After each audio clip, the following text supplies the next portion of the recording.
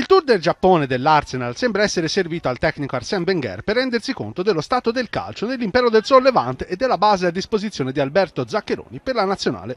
Un quadro decisamente più roseo di quando a metà anni 90 impressionò la J-League con i suoi Nagoya Grampus. Sentiamo Wenger.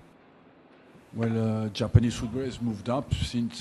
Il calcio giapponese ha fatto grandi passi avanti. Sono arrivato nel 95, da allora il Giappone non ha saltato un solo mondiale. In Sudafrica erano poi in un gruppo molto difficile, riuscirono comunque ad arrivare agli ottavi. Con la qualificazione ai mondiali brasiliani già in tasca, sicuramente il calcio negli ultimi anni qui in Giappone ha fatto davvero un grande balzo di qualità. Uh, Dopo il gol segnato dall'unico gunner con gli occhi a mandorla, Rio Miyaichi, durante l'amichevole contro il Nagoya, Wenger coglie l'occasione per coccolarsi il talentino asiatico. I personally was impressed by uh, his pace.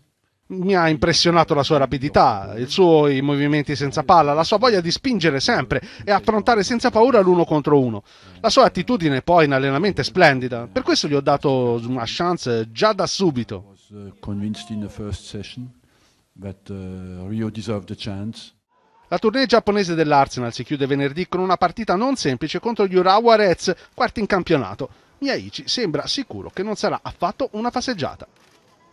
そうですね、まああのまあ、浦和レッズっていうのは、まあ、J リーグの中でも Gli Urawa Reds sono conosciuti in tutta la Lega per il grande entusiasmo dei propri tifosi e l'atmosfera straordinaria del loro stadio.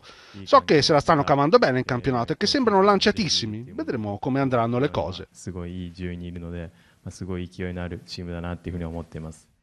Il pensiero di Wenger però sembra correre più avanti alla Emirates Cup del 3 e 4 agosto, dove i Gunners affronteranno il Napoli delle meraviglie targato Rafa Benitez.